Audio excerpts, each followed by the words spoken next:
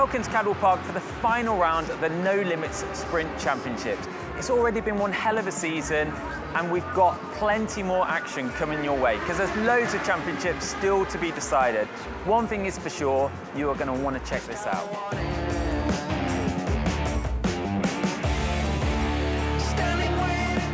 Kicking things off, we've got the Metzeler Newcomer 600 Series. It's been a fantastic class year long and it's not decided yet. Championship leader Wilfred Watson Turner sits 93 points ahead of Joe Higham, but with 100 points up for grabs over the course of the weekend, who knows how things are going to end up issues, but the race gets underway. Nine laps of racing then get started, and it is, by the looks of it, not Joe Higham that will have the lead, or he's being challenged at least by Benjamin Williams there on the uh, white number 42 Honda as they went into the first corner. Who gets into Charlie's first? It's Higham back ahead though. Higham has the advantage then. Williams second, and Jonathan Hunt, by the looks of it, slots third, but Williams now challenging Higham for the lead coming out of Charlie's. Tried to dip to the right hand side of Joe. Couldn't quite do it. Uh, Wilfred Turner, by the way, about so for a turn from the back of the grid, I reckon he's into about 14th or 15th place already. That was an absolutely storming start from the championship leader, and that seventh place finish is now looking an awful lot more realistic. Seventh place is what he needs to wrap up the championship if Joe Higham wins the race. So a top three finish for Wilfred from the back of the grid might still be achievable. Joe Higham then with a eight tenth of a second lead at the end of the opening lap. I think that's gone out again this time. Still Williams second. Curtis Milburn, by the way, has cleared Thomas Jackson now for third place. So Milburn on the uh, 996 Kawasaki into a rostrum place. Jackson is fourth, then is Hunt, Ward, Holden, Sheffield return, by the way, with a personal best lap time this time, 36.2. He's comfortably the fastest man on the track. He's 4.1 seconds behind Jonathan Hunt and was four seconds quicker than him on the previous lap. So Turner could get fifth here, in fact he should get fifth. Can he get on the rostrum? Might just run out of time. Depends how much uh, Jackson, Milburn and Williams hold each other up. They come across the line pretty much together, those three, with Jackson now confirmed in second. So on to the final lap then. The final remaining question then is whether or not Tom Jackson can uh, hold on to this second position then because Curtis Milburn is right behind him again as they come through the gooseneck now to hang on to second place. He got a good exit there from the chicane as well, so he's pulled a length or so on uh, Milburn as they head towards the mountain. Joe Higham is going to come home to take a race victory. That's Joe Higham will approach the checkered flag in the next few seconds to take that ninth victory of the year, but behind him, a fifth place finish for Wilfred Turner should be enough for the championship. Higham comes across the line, then he takes the checkered flag. A dominant victory, as it was yesterday for Joe Higham. Joining him on the rostrum will be Thomas Jackson and Curtis Milburn, and they finish in that order. Uh, Benjamin Williams comes home in fourth, but your 2021 Metzeler Newcomer 600 champion is Wilfred Turner, and he has done it then from the back of the grid. Wilfred Turner finishes in fifth position, and that is enough to wrap the 2021 title with two races to spare. Uh, do show your appreciation to them as they come through, especially our champion-elect then, Wilfred Turner, who I saw was uh, stood up with both hands in the air as he came across the line there to celebrate the championship. Will know that he's done enough. A fifth place finish for Wilfred gives him 11 championship points.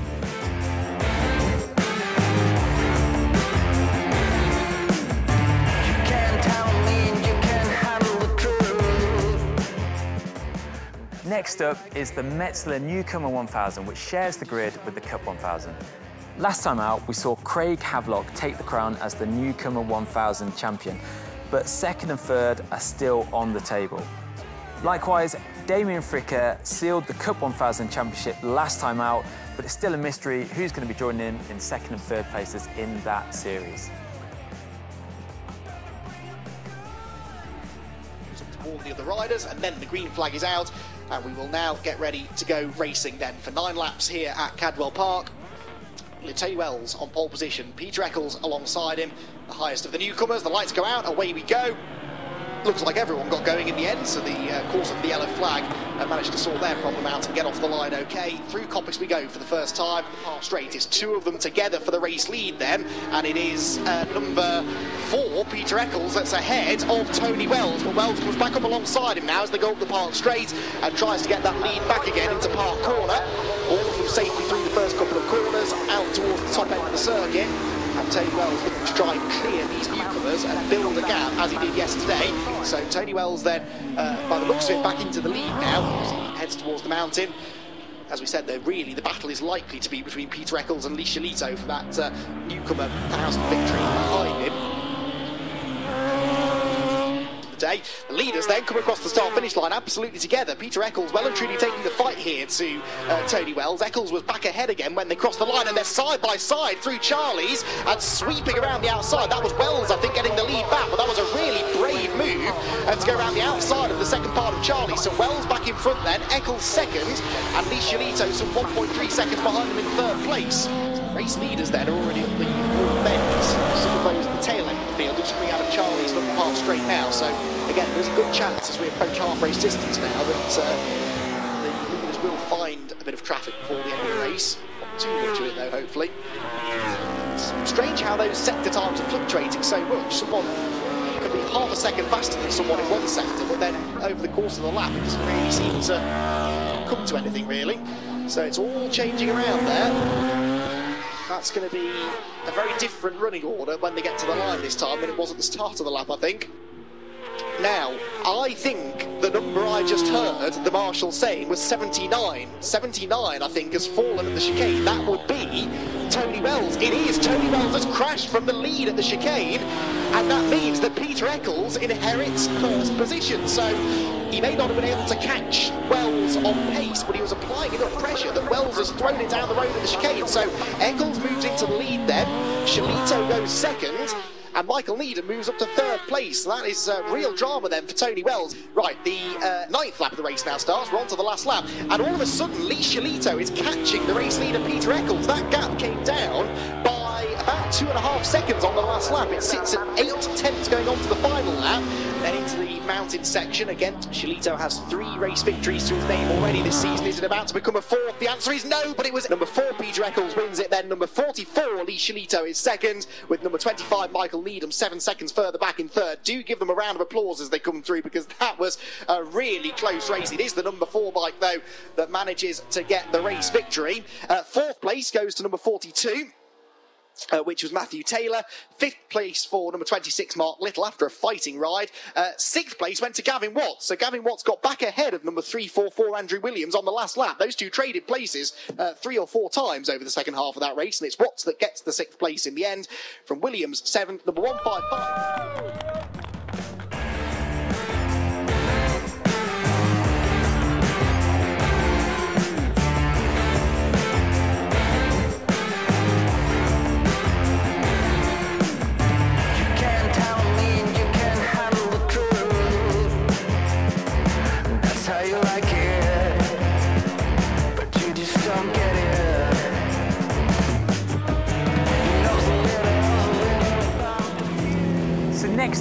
Race with three championships still undecided. The ProtectMyIncome.com Cup 600, the Pre-Injection 600 and the Moto 46 Street Bike Cup.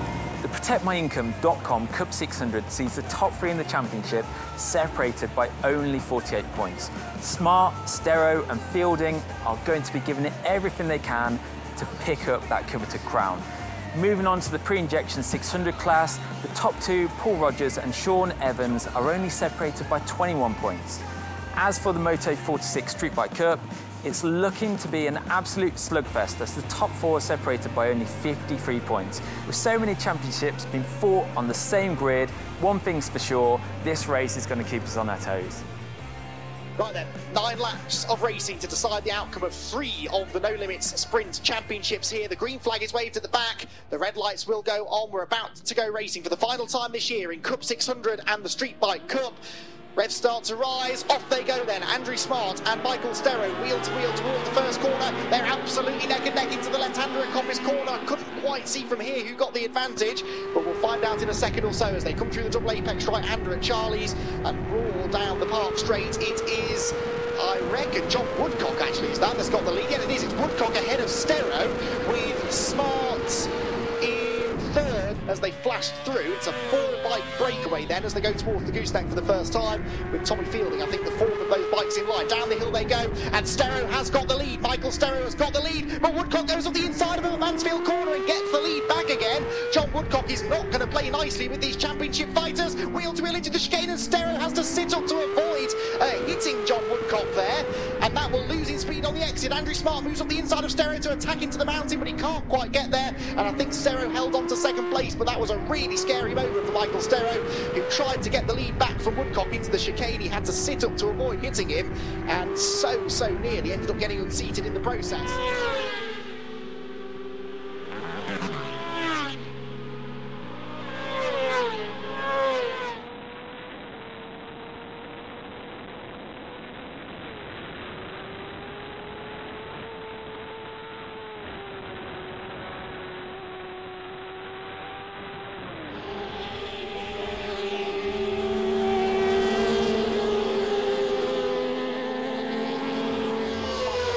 If Stereo can't catch Woodcock, then he has to settle for second.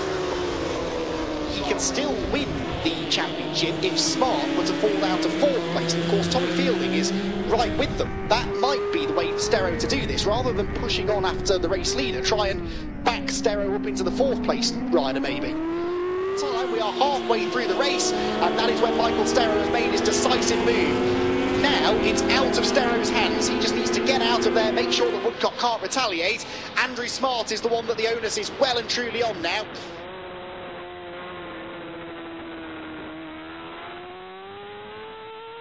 Stereo with the lead, Woodcock second, but with Andrew Smart in third. Bit of traffic ahead now.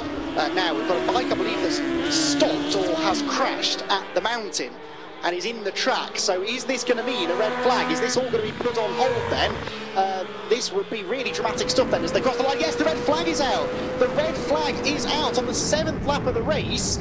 And Michael Stereo is leading with Andrew Smart in third. Now, if they don't restart it, I think that that gives Stereo the championship. Does I think Michael Stereo has just won the championship in the a really unfortunate set of circumstances to do it with a red flag. But Michael Stereo uh, I think is going to win the. Yes, the checkered flag is being shown. That is it, the end of the race then. So Michael Stereo will win the race. It's only his third victory of the season, and for the second year in a row, Andrew Smart is going to be denied the championship. It happened to him in Newcomer 600s last year, and unbelievably, it looks like it's going to happen again.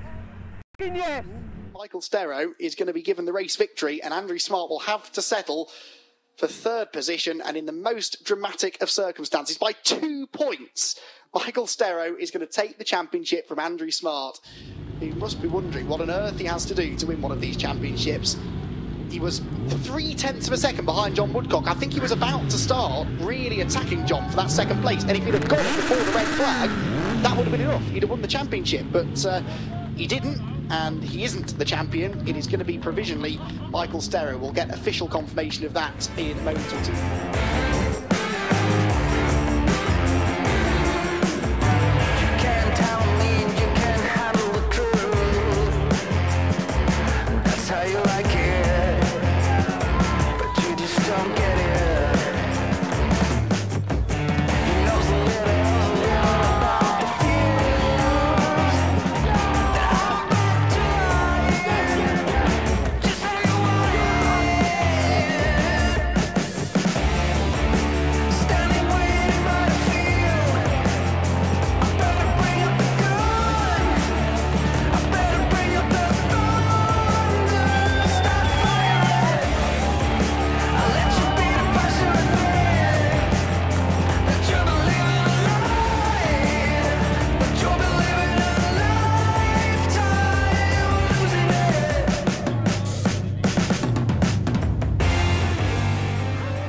Series that's really delivered this year has been the CF Moto UK Twins category. So while the Super Twins Championship has well and truly been decided, the Standard Twins are well up for grabs. Tommy Downs and Robert Charles are separated by only 29 points, so the championship really could go either way this weekend. Also on the same grid are the CB500s and Modern Retro 400s, which have already had both their championships decided.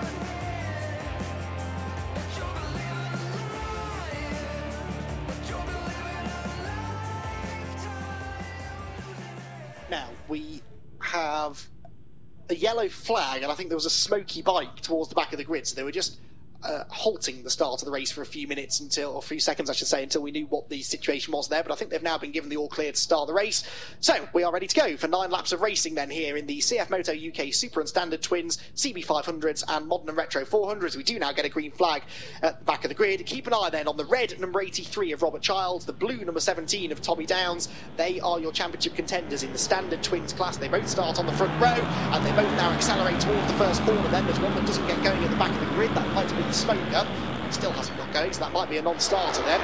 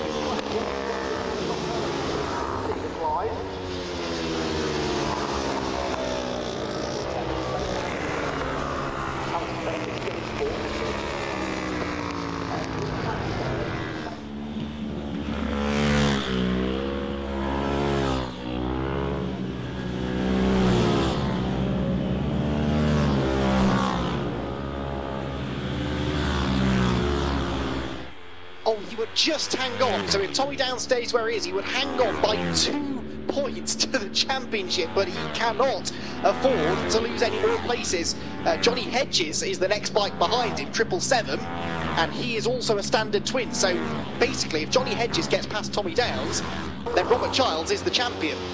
So Taylor second is 12.3 seconds back. Tommy Downs is then a further eight seconds back. Now Downs has suddenly backed off and been caught by Holland and Crammond. That was a really slow lap from Tommy, about four seconds off the pace. Remember, though, he could let both of those two through and still take the title, but the red flag is out. The red flag is out.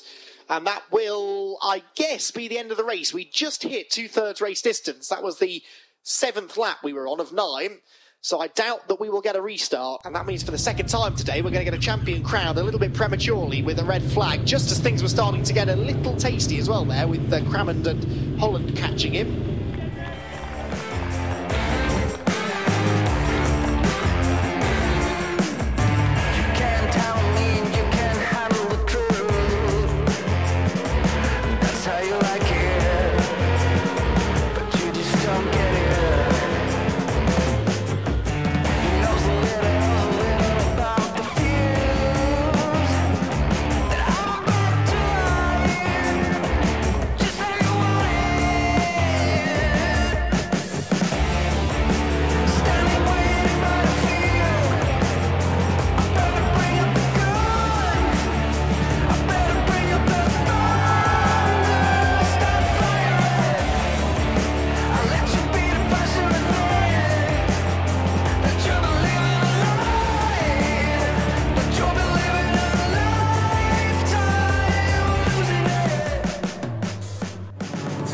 Next is the Pirelli Super Series 600 Championship, which shares the grid with the Premier 600 and the Ducati class. The Super Series 600 Championship is still undecided, seeing the top three, Talbot, Alderson and Fisher, separated by only 58 points.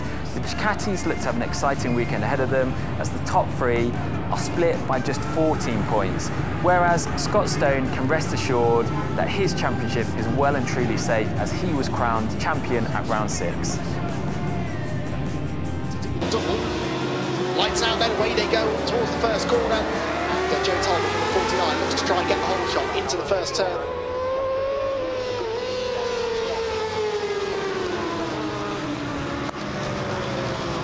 There's a big, spectacular crash further back at the gooseneck. Uh, Rider is up and fine, but the bike took a huge, huge tumble.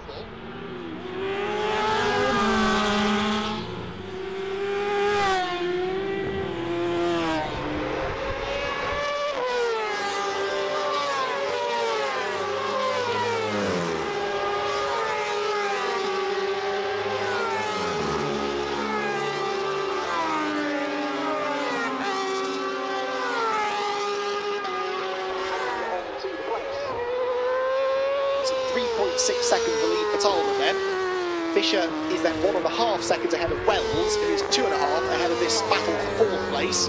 And then there's quite a good battle for sixth going on down the hill as well. You've got uh, Mark Bridger, who crashed yesterday at the front of that group, the Black Machine.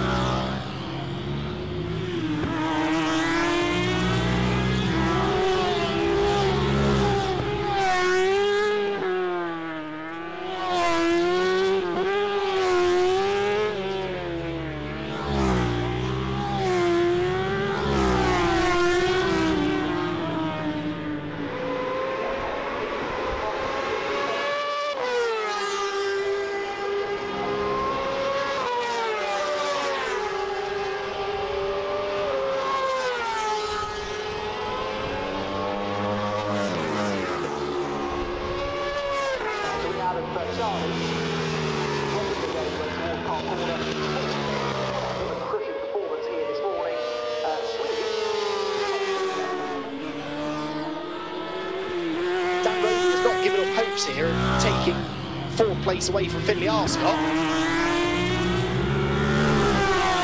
Leader, um, leader goes on to the final lap of the race then, waiting for that fourth place battle to come through. Here comes, Arscott fourth, but they were actually side by side across the line, Arscott and Roby.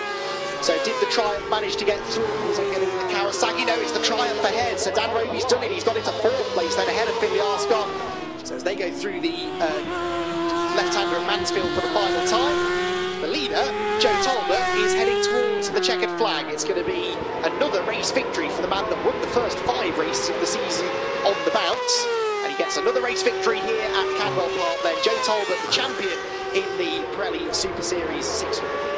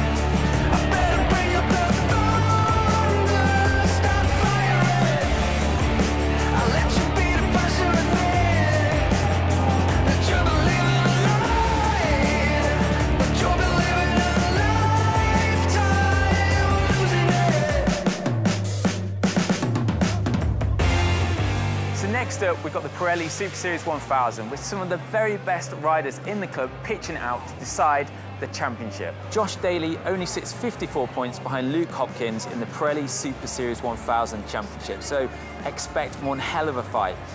Running in tandem with that class is the Premier 1000. We've got an all-out brawl as the top five, Coghlan, Cresswell, Major Bird, Patterson and Norton are all separated by 73 points. I think we're in for a real show here. Let's see who comes out on top.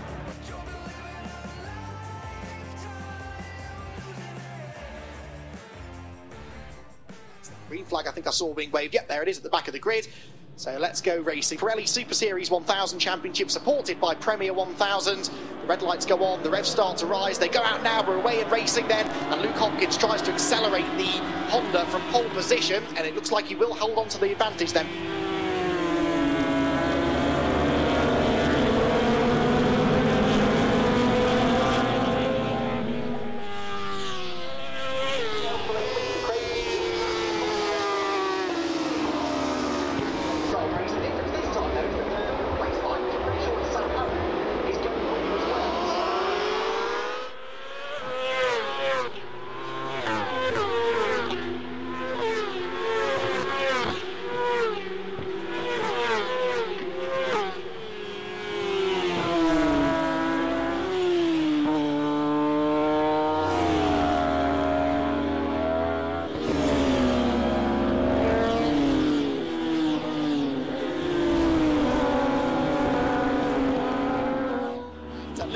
Hopkins responding now to uh, Craig Neve's threat. Luke Hopkins with a new fastest lap of the race, 129.495. He's now back up to a second clear. So now the gap is bigger than it's been at any other point. Well, let's check in, shall we, with the Premier Thousands then. So it's Coghlan and Cresswell we're watching for. Uh, Coghlan is only 10th in class. Uh, but where is Cresswell? Cresswell is sixth. So at the moment, Cresswell is outscoring Coghlan by a handful of points, which means that uh, he would move into the championship lead then if things stay as they are.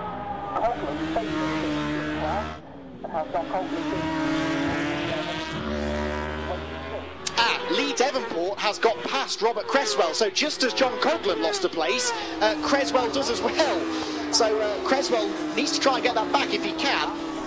As the leaders go on to their final lap of the race then, Cresswell, is he going to be able to catch the black and green bike ahead of him? I'm not convinced he will actually. Although that big group of bikes, they are starting to trip over each other. That's the group that um, Tom Norton had been in.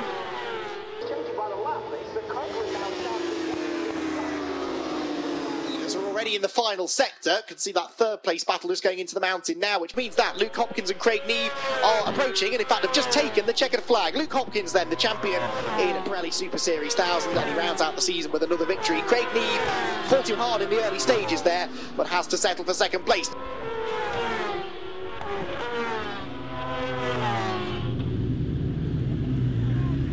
And Robert Cresswell displayed true fighting spirit there to come home and get the result. So that is fourth place in class for Robert Cresswell. That's 13 points for him. John Coghlan gets 11, which means that Coghlan misses out on the championship by three championship points. Incredible.